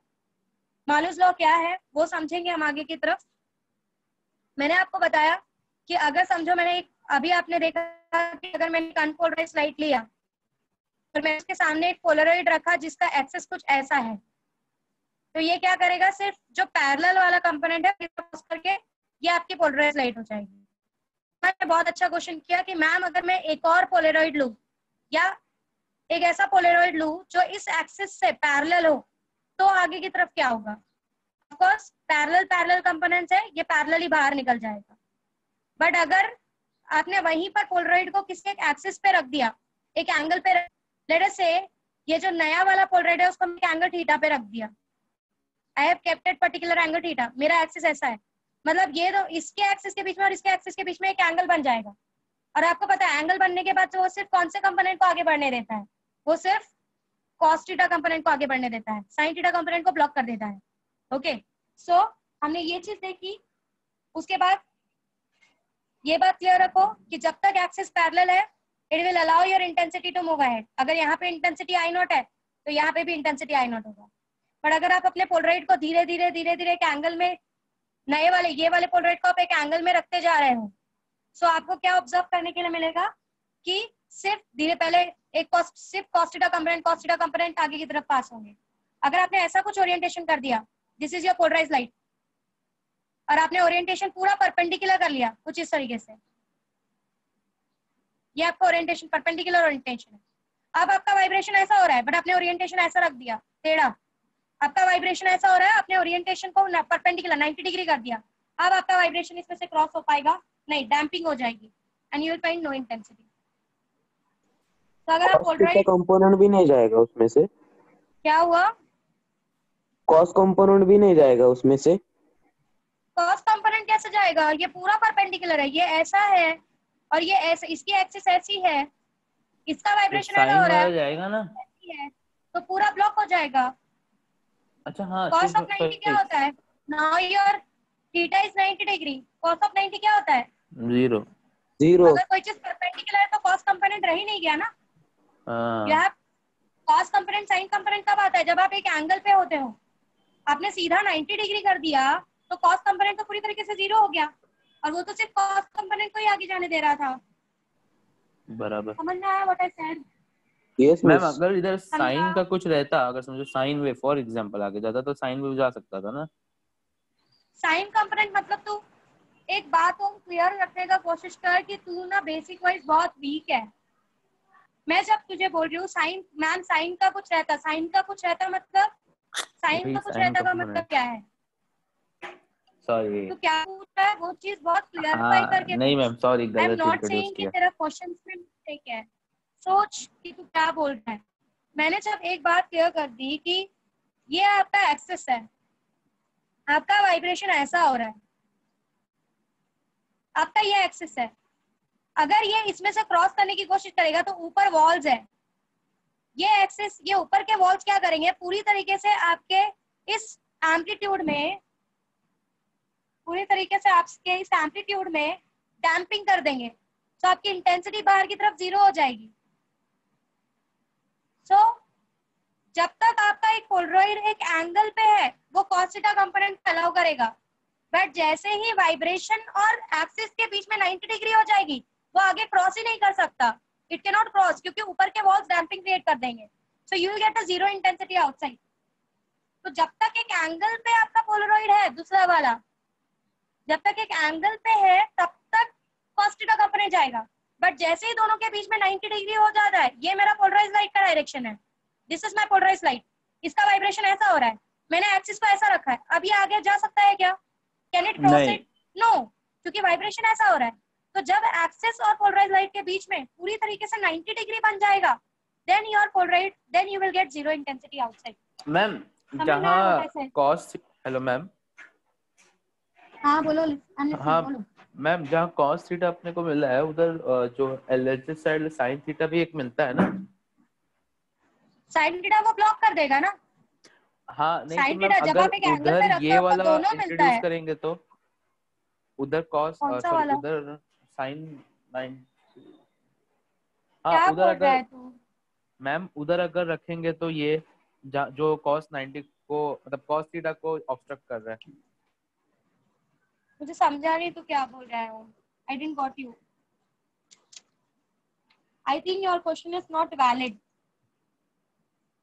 क्यों वैलिड नहीं है? वो उसके पीछे रीजन ये हो रहा है कि you have not understand what does this components mean अब आप वापस वही वाले कंफ्यूजन पे आ गए जो जो आप प्लेन वाले पे थे. ये कंपोनेंट्स का मतलब क्या आपको समझ नहीं पा रहे हो शायद. ये जो कंपोनेंट्स होते हैं ना, ओम ये कंपोनेंट्स आपके एंगल पैरेलल और परपेंडिकुलर के बेसिस पे डिसाइड किए जाते हैं। मैं एक सिंपल बात आपको ऑलरेडी बता चुकी हूँ कि इसका वाइब्रेशन ऐसा है और आपका जाने का रास्ता ऐसा है। ये रास्ते में ये वाइब्रेशन ब्लॉक हो रहा है, ये ऊपर पूरी दीवार है। आपको ये टनल से क्रॉस करना है, ये टनल का ये डायरेक्शन है। आपका हाइट इस टनल के सामने बहुत बड़ा है, आप सीधा सीधा क्रॉस नहीं कर सकते। उस चीज़ के लिए आपको पूरे लाइट को चेंज करना पड़ेगा। और आपके, आपकी लाइट को डायरेक्शन को ऐसा करना पड़ेगा कि आप इसमें से पास कर सको। मतलब वापस से आपका एक्सिस और आपका लाइट को आपको क्या करना पड़ेगा? पैरेलल करना पड़ेगा। आप सीधा परपेंडिकुलर करके आप इस पतले एक्सिस से क्रॉस नहीं कर सकते। समझ में आ रहा है व्हाट आई सेड कि अगर आपने दो पोलराइड रखा, पहला polaroid let's go ahead with the polarisation again ये आपका पहला पोलर पोलर अनपोलराइज लाइट है। आपने पहला पोलराइड रखा। You keep the first polaroid इस पोलराइड को आप किसी भी डायरेक्शन में रखो। एक कंपोनेंट तो क्रॉस होगा ही। क्योंकि हर डायरेक्शन में अनपोलराइज लाइट में कुछ ना कुछ कंपोनेंट है। अब इसको सीधा, ये मेरा फ़र्स्ट पोलराइड है। इसको मैं टेढ़ा भी रखूँगी ना तो भी एक अनपोलराइज लाइट का एक कंपोनेंट बाहर निकलेगा। और मुझे तो वही करना है। मुझे क्या करना है? मुझे सिर्फ़ एक कंपोनेंट को आगे जाने देना है, बाकी सारे कंपोनेंट्स को ब्लॉक करना है। तो पहले पोलराइड को मैं किसी भी एंगल पे रखू, मेरा एक कंपोनेंट आगे क्रॉस होने ही वाला है। से मैंने इस कंपोनेंट को आगे क्रॉस होने दिया, ये वाला कंपोनेंट बाकी सारे ब्लॉक हो गए। बाकी सारे क्यों ब्लॉक हो रहे हैं? क्योंकि मेरा वाइब्रेशन का डायरेक्शन ये है। अब तुम बोलोगे, तुम्हारे पास ये क्वेश्चन आ सकता है। ये क्वेश्चन वैलिड है कि मिस अगर ये एक एंगल पे है तो इसका कुछ कंपोनेंट तो आगे की तरफ़ जाएगा। इसीलिए मैंने आपको बोला कि एक परफेक्ट प्लेन पोलराइज क्रिएट करने के लिए बहुत ही पतला स्लिट क्रिएट करना पड़ता है। बहुत पतला। बहुत ही ज़्यादा पतला। अगर वो थोड़ा सा भी मोटा हुआ ना तो ये इसके कॉस्टिडा कंपोनेंट को अलाउ करेगा। इसके कॉस्टिडा कंपोनेंट को अलाउ करेगा। तो आपको परफेक्ट प्लेन जैसा कुछ नहीं मिलेगा फिर। एक परफेक्ट प्लेन क्रिएट करने के लिए ये एक्सिस बहुत पतले बनाए जाते हैं। कि सिर्फ़ इसी को वो अलाउ करे, इसके कॉस्टिटा के बहुत नेग्लिजिबल अमाउंट पे अलाउ करे। समझ में आ रहा है? So when it is allowing इसने सिर्फ़ ये कंपोनेंट बाहर की तरफ़ अलाउ कर दिया। अब ऑफ़ कोर्स अनपोलराइज के कंपेयर में पोलराइज की इंटेंसिटी कम होगी, क्योंकि हमने बहुत सारे कंपोनेंट्स को ब्लॉक किया है। अब मैं क्या कर रही हूँ? I am introducing new polariser second polariser मैंने इंट्रोड्यूस किया। I have introduced second polariser okay what I am observing कि जब मैं इस पोलराइजर से, अब मेरे इस पोलराइज लाइट को पास करूँगी। अगर मेरा ये जो नया पोलराइजर है, उसका एक्सेस इससे पैरेलल है आई गेट सेम इंटेंसिटी मेरे कोई भी इंटेंसिटी ब्लॉक नहीं होगी सीधा सीधा सारे के सारे बाहर निकल जाएँगे। अब मैं क्या बोल रही हूँ? धीरे धीरे इस एक्सेस को एक एंगल पे टर्न करते जाओ। ज़ीरो पहले दोनों के बीच में कितना एंगल है? ज़ीरो थोड़ा सा चेंज करो। थर्टी आपने इसको थोड़ा सा टिल्ट किया। Forty, fifty, sixty. अगर आपने फोर्टी डिग्री पे रखा तो इसका जो कॉस फोर्टी कंपोनेंट है, वो बाहर जाएगा। जो साइन थर्टी है, जो बाहर की तरफ़ है, वो ब्लॉक हो जाएगा। फिर forty five again forty five को वो पैरल कॉस फोर्टी फाइव से पैरल होगा, वो बाहर की तरफ़ जाएगा। फोर्टी फाइव ब्लॉक हो जाएगा। अब सीधा आप एक काम करो, एक टाइम के बाद इसको पूरा ऐसा परपेंडिकुलर रख दो। कीप इट लाइक दिस मेरा कैसा है? मेरा ऐसा पैरेलल जा रहा है। ये परपेंडिकुलर है। ठीक है? अब वाइब्रेशन ऐसा हो रहा है और एक्सिस कैसा है? सीधा। आप ऐसे खड़े हो और जाने का रास्ता ऐसा है। तो आप सीधा नहीं जा सकते इस गुफे से बाहर। आपको अपने आप को क्या करना पड़ेगा? या तो आप अपने आप को ऐसा कर दो और क्रॉस हो जाओ। मतलब अगेन एक्सिस और लाइट का जो एक्सिस और लाइट का डायरेक्शन वापस एक दूसरे से क्या हो गया? पैरेलल मतलब अगर आपने परपेंडिकुलरली इसको इस सेकंड पोलराइड को अगर आपने परपेंडिकुलर कर दिया इससे तो आपको यहाँ पे इंटेंसिटी क्या मिल जाएगी? ज़ीरो समझ में आया? व्हाट आई सेड समझा सबको? सबको समझा? यस मैम यस और no Yes, miss. What about others yes ma'am समझा? Okay now I complete it in some time थोड़ा सा पाँच मिनट एक्स्ट्रा दे दो। ये बात तो क्लियर हो गई कि अगर मैं सेकेंड पोलराइड रख रही हूँ और उसको एक एंगल पे रखती जाओ जैसे ही 90 डिग्री हो जाएगी, मेरा ये पूरा तरीके से ब्लॉक हो जाएगा। क्योंकि इसका वाइब्रेशन ये है 90 डिग्री होते ही इसको जाने के लिए रास्ता नहीं मिलेगा आई गेट ज़ीरो इंटेंसिटी है मतलब कहीं ना कहीं मेरा इंटेंसिटी जो है, इस एक्सिस के एंगल पे डिपेंड कर रहा है। उसी रिलेशन को मालूस ने एक्सप्लेन किया। ओके मालूस ने क्या बोला? कि I know that my intensity is directly proportional to E naught का स्क्वायर अगर मेरा पोलरॉइड किसी एक एंगल पे है that is angle theta with my polaroid का पोलराइज लाइट अगर एक एंगल थीटा पे है it is at particular angle theta तो मेरा पोलराइड सिर्फ़ ई नॉट के कॉस थीटा कंपोनेंट को ही आगे जाने देगा। ये चीज़ मैंने ऊपर के एग्जांपल से समझाई थी कि अगर आपका, आपने स्टार्टिंग में ही एक ऐसा इलेक्ट्रिक फ़ील्ड ले लिया दो चीज़ों से आप कॉस थीटा इंट्रोड्यूस कर सकते हो। एक तो आप ऐसा इलेक्ट्रिक फ़ील्ड ले लो, जो आपके पोलराइड से एंगल थीटा बनाए। या तो आप ऐसा करो कि आप एक लीनियर लाइट लो और आपके पोलराइड को एक एंगल थीटा पे रख दो। दो तरीके से आप थीटा इंट्रोड्यूस कर सकते हो। समझ में आ रहा है? How you can introduce theta दो पोलराइड लो। पहला पोलराइड से आपका एक प्लेन पोलराइज लाइट बाहर निकलेगा। दूसरा पोलराइज लो, उस पोलराइड लो, उसको एक एंगल थीटा पे रख दो इस प्लेन पोलराइज से। तो आपको बाहर टीटा इंट्रोड्यूस होके मिलेगा। या फिर पहले ही आप क्या करो एक ऐसा इलेक्ट्रिक फ़ील्ड लो जो इस पोलराइड के एक्सिस से एक एंगल थीटा बना रहा हो। दो तरीके से आप थीटा इंट्रोड्यूस कर सकते हो। क्लियर सो मालूज ने इस ऐसा के बीच में रिलेशन किया। जो पोलराइड से टीटा बनाता होएगा। ले सकते हो but this one is more easy ये आराम से कर सकते हो। सेकंड वाला कंडीशन के लिए कुछ तो करना दिस पड़ेगा वन ना। ये एक इलेक्ट्रिक फ़ील्ड को लेके करना is quite tough this one is more easy mostly यही एक्सपेरिमेंट किया जाता है। ओके okay, मैं आपको बता रही हूँ कि दो तरीके हो हो। जो पोलराइड से एक एंगल थीटा बना ले। या तो दो पोलराइड्स का यूज़ करके बाहर थीटा इंट्रोड्यूस करो। पहले पोलराइड से पोलराइज पोलराइज लाइट क्रिएट करो। दूसरे पोलराइड्स को एक एंगल थीटा पे घुमा के थीटा कंपोनेंट को इंट्रोड्यूस करो।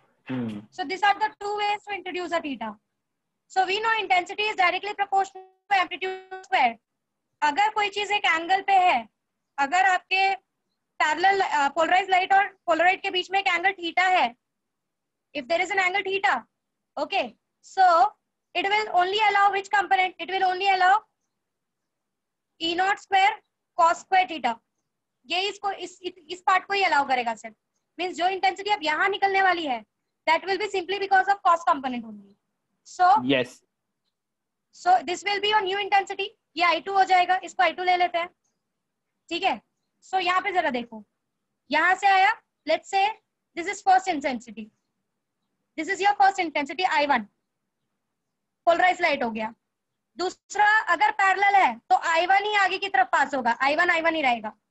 बट अगर आपने इस पोलराइड को एक एंगल पे रख दिया तो I2 क्या होगा? I2 will be T naught square cos square theta क्योंकि आई टू जो भी होगा वो सिर्फ़ कॉस कंपोनेंट की वजह से होगा। और हमको पता है कि यहाँ पे I one was E naught square so Malus given relation between I two and I one so I two is equal to I one cos square theta this intensity का relation gives you the Malus law Malus ने intensity के बीच में दो Polaroid अगर एक angle पे है एक थीटा एंगल पे है तो मालूस ने इंटेंसिटी के बीच में रिलेशन दिया है। This is called as Malus law ma'am इसका यूज़ बताओ। इसका यूज़ बहुत सारी जगहों पे किया जाता है। तो आपके जो सनग्लासेस बनाए जाते हैं वहाँ पर किया जाता है कि आपको कितना इंटेंसिटी कम करना है। आपके वॉचेस जो बनाए जाते हैं पोलराइज वॉचेस आपका जो मोबाइल का स्क्रीन बनाया जाता है वो सारी जगहों पे जो एंगल उनको बनाना होता है वो इसी तरीके से इंट्रोड्यूस किया जाता है कि अगर मुझे नया इंटेंसिटी कम करके चाहिए लेट से कुछ एक अमाउंट कम करके चाहिए तो मुझे कितना एंगल इनिशियली कितना इंटेंसिटी है? और मैं अगर कितना एंगल रखूँ तो मुझे ये नया जितना इंटेंसिटी मेरे लाइट मेरे मोबाइल को ज़रूरत है उतनी इंटेंसिटी सिर्फ़ उसको रिसीव होगी। So there are different different applications for it so you can calculate the new intensity which is which you can get after placing your Neat, second pole at an angle theta. समझ में आया Malus law सबको? Yes ma'am Malus law Malus- relation between the intensities. If you keep two polarities at a particular angle theta. Of course ये theta जैसे जैसे बढ़ाते जाओगे जैसे ही ये थीटा 90 डिग्री हो जाएगा। डाल के देखो यहाँ पे 90 डिग्री cos ऑफ़ 90 क्या होता है? ज़ीरो इसका मतलब एक्सिस और पोलराइड के बीच में एंगल कितना हो चुका है? 90 डिग्री हो चुका है। When it 90. बिकम्स 90 डिग्री आपको इंटेंसिटी जो मिलेगी दैट विल बी ज़ीरो मतलब अगर दोनों एक दूसरे से परपेंडिकुलर हो गया तो आपका इंटेंसिटी बाहर ही नहीं, आपका एम्पलीट्यूड बाहर ही नहीं जा पाएगा ब्लॉक हो जाएगा। क्लियर विद द कंसेप्ट समझा सबको? विल स्टॉप हियर किसी को कुछ डाउट है तो प्लीज़ पूछो। हम कल करेंगे।